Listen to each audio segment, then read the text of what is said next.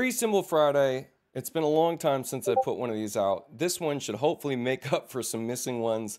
I know I want to catch up to this, but let's just get into it. If you've been doing any kind of macro scripting, this particular tool is an absolute game changer. This will be put into my architectural tools that I give out from my pro plan, so please note that. But uh, in the meantime, let's just get into what this is. I call it RABS Macro Search. So it's a rich text box. You place it in plan, and once you've got it in plan, go ahead and select it and draw out a leader line and snap that leader line to some publisher. And you see what it's doing here. It's looking at this wall for anything that might report from a value called material. Watch, we'll take this leader, we'll snap it to the window, it's doing the same thing. Anything that might have a value of material, for instance, okay?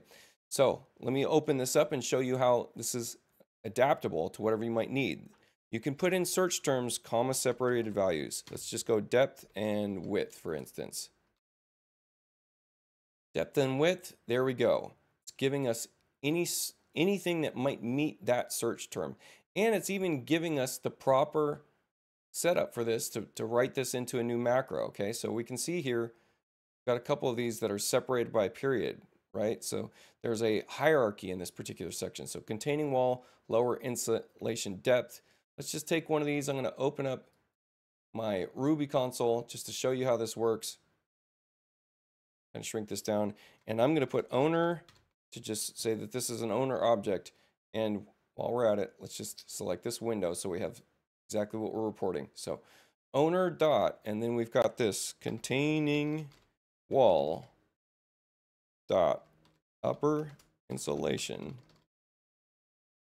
And let's just do depth because that reports four inches. Okay. And I'm going to press enter. There you go four inches. So really, really fast and easy way to locate some value you might be looking for. So if you're wondering if it reports something that you'd like to look up, maybe you wanted to see if maybe jamb is a reported value, you can see no matching results, right?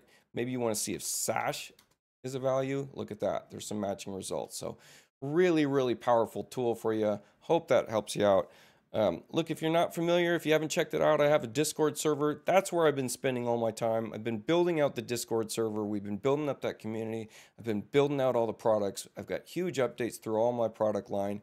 I've got a section in, in my Discord server that's called VIP. In VIP, I even give you all of the um, the instruction set that I put into Chat GPT Plus to write these really complex macros. So I'm getting a lot done with that. You got some really upper elevated paid only videos that I put into those VIP sections. I think it's well worth the money. This is just an advertisement at the tail end of this free symbol. Go enjoy the free symbol and I appreciate you following. Thank you.